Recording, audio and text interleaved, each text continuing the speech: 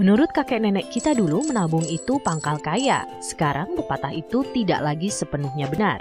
Karena nilai uang kita akan tergerus oleh penurunan nilai mata uang dan kenaikan harga barang yang biasa disebut inflasi. Lalu bagaimana caranya agar uang kita bisa bertambah banyak sehingga kita bisa membiayai pendidikan anak, membuka usaha atau mempersiapkan masa pensiun?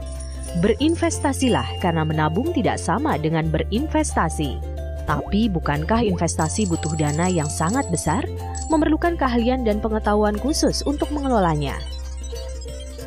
Karena itu, reksadana hadir sebagai instrumen investasi yang murah, mudah, aman, dan menguntungkan bagi investor pemula yang memiliki dana terbatas. Kita bisa mulai berinvestasi hanya dengan Rp100.000. Dana kita dikelola oleh manajer investasi yang profesional dan berpengalaman. Reksadana merupakan produk resmi yang diawasi secara ketat oleh Otoritas Jasa Keuangan Republik Indonesia. Kita juga dapat mencairkan dana investasi kapan saja.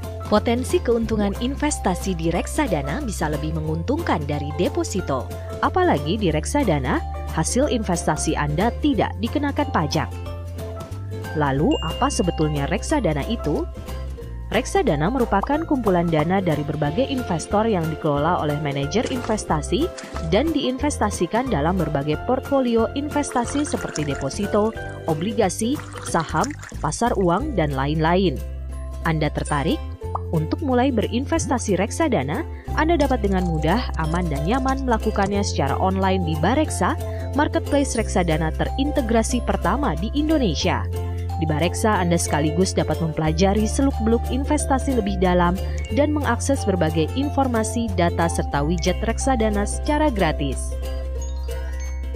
Silakan klik www.bareksa.com.